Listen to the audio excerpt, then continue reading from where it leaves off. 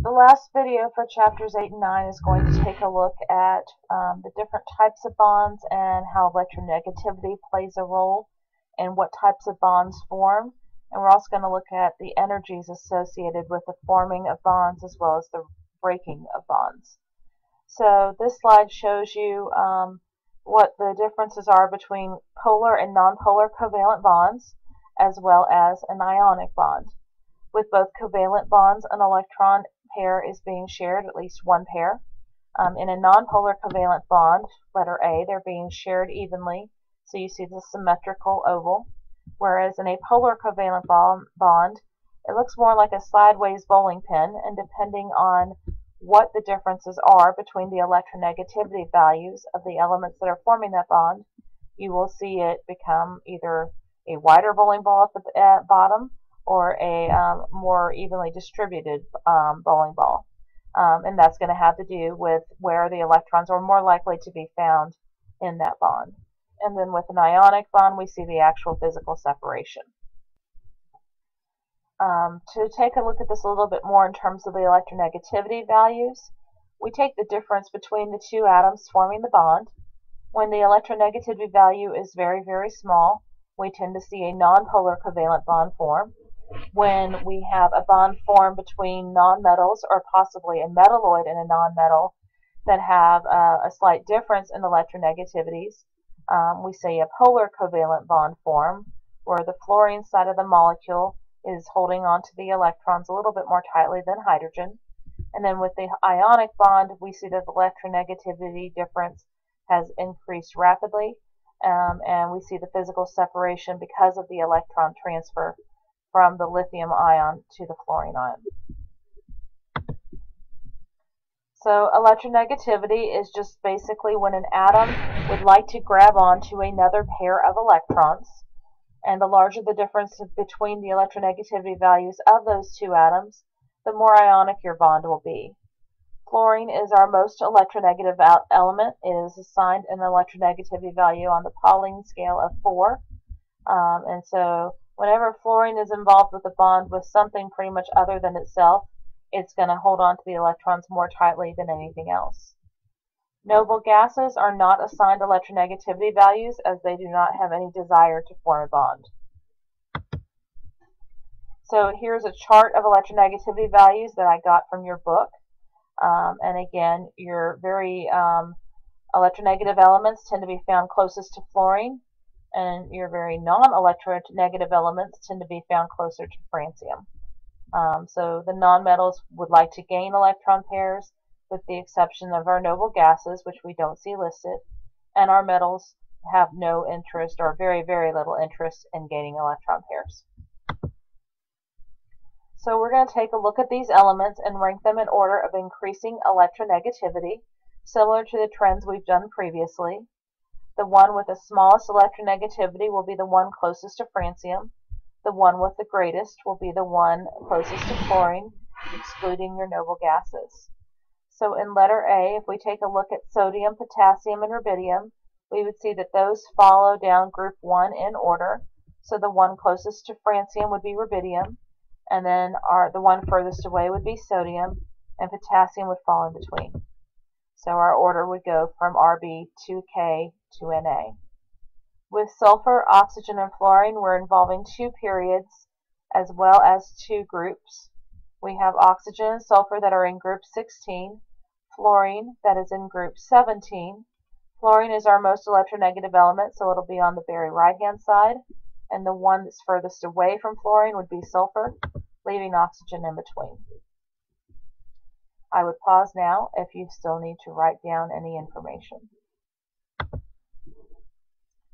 Our next question asks us to take a look at which of these bonds will be more polar, BF or BCl.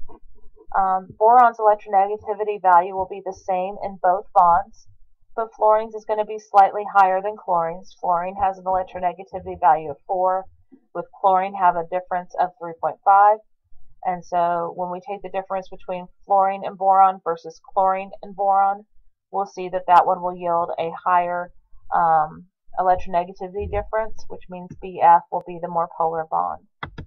In terms of the negative and positive poles in this molecule, we would see the negative charge, the partial negative be on fluorine, whereas boron would have a more positive charge. So we would see an arrow being drawn from boron to fluorine, showing the more um, electronegative end of the molecule on the fluorine side. Again, I would pause now if you still need to write more down. There's three characteristics of bonds that play a role in terms of the energies that are needed to break the bonds, as well as the energies that are involved in forming the bonds. Um, it also has to do with how far the atoms are apart from one another. Um, and they are the order. We've actually talked about this a little bit before. Um, single bonds are assigned an order of one because they have one bonding electron pair. Double bonds are assigned an order of two, and triple bonds are assigned an order of three. When you have a double bond that is being shared um, via a resonance structure between atoms, then if it's between two atoms, it would cause the double bond to count as a 1.5 bond. If it was being shared between three atoms, it would count as 1.33, one and a third. The length of uh, bonds between an atom are going to be smaller the more electron pairs that you have connecting the two atoms together. So the single bond will be the largest of the bonds that only shares one pair, whereas a triple bond will be the shortest. Um, and because there's three electron pairs with that triple bond, we actually see that it is a stronger bond because it's harder to separate three electron pairs than it is to separate one. Um, in terms of how strong the bonds are, we can use their dissociation energy, the separation into the individual atoms. Um, and in order to break any sort of bond, so in order to turn your reactants into products, you're going to need energy to be inputted to force that uh, electron pair to separate. Um, and so that is an endothermic change. Here, um, this is table 8-9 in your textbook. Um, we can see that these are single bonds all up here. And then down here in this bottom section we see the multiple bonds. And if you look carbon and oxygen the triple bond formed between them requires 1046 kilojoules per mole of energy in order to be broken. Um, but it would also produce 1046 kilojoules per mole of energy if that bond is formed and so this is another way for us to determine the energy of a reaction We've already learned how to do it by using the formation enthalpies of our elements and our compounds. Um, this will allow us to take a look at them just based on the types of bonds that are formed between the atoms making up those molecules. You're going to have one question on your homework which is going to ask you to compare the um, delta H for the reaction by calculating it using bond energies um, um as well as the um, heats of formation that are found in the back of your book. And you should get pretty similar answers. So, as I said before, to break a bond, you need to add energy, so that's going to be an endothermic change. And to form bonds, you're going to release energy. Since you break bonds on the reactant side and you form them on the product side, as opposed to what we've done before where it's always been final minus initial, this type of energy change is going to involve taking the initial values and subtracting away from that um, the um, product's values so that you have the positive portion first and the negative portion at second so that we see what the net difference is between the two. So you're going to need to use the table that I talked about previously to do calculations with this section. Um, but in order to figure out which components of that table you need, you're going to have to be able to draw these structures.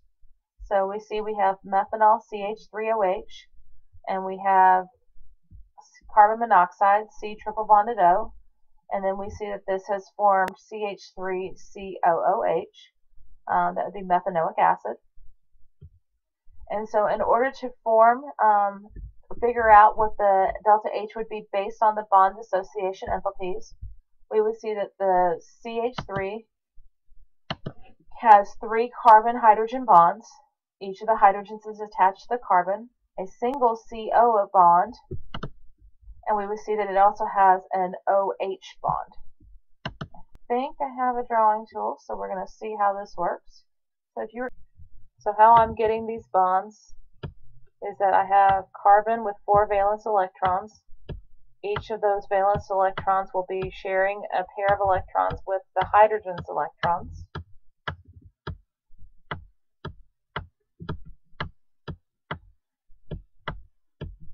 And then we'll have a single bonded oxygen over here next to carbon.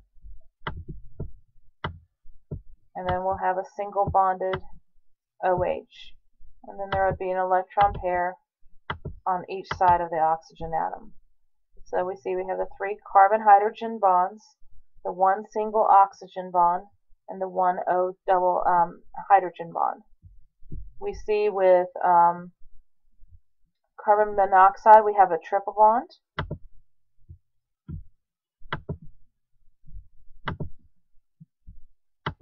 So that's all that's going to be shown. And then for our CH3COOH, again, we've got the carbon on the side with the three hydrogens.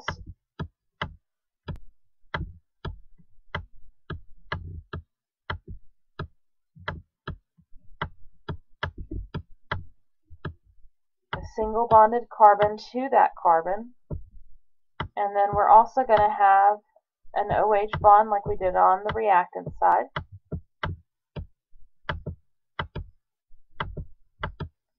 And then the carbon that is attached to both oxygen and carbon will also be double bonded to the second oxygen atom. So this acid will have three carbon-hydrogen bonds as we saw over here with methanol. It'll have a single carbon-carbon bond, a single CO bond, a single OH bond, and a single C double bond O. So when all that is recorded, we will have the three CH bonds, the CC, the CO, the OH, and the C double bonded O. When you see the same types of bonds on both sides of the equation, you can cancel them out because you're going to both need to break that bond as well as reform it so the energy difference will be this um, zero. So the carbon and hydrogens are going to cancel each other out as will the carbon and oxygen as will the OH. So the net difference that is actually occurring is that we are breaking a triple bonded CO. We're forming a CC bond that's a single bond and a C double bonded O.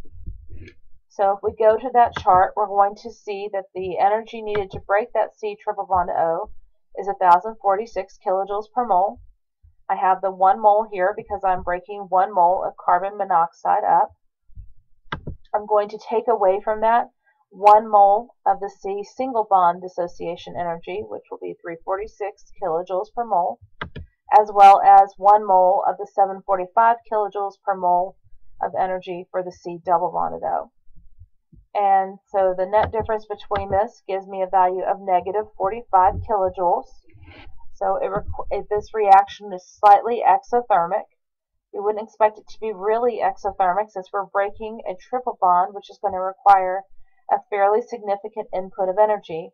But by forming that double bond, we're able to um, release um, some of that energy that was absorbed and end up with an exothermic change.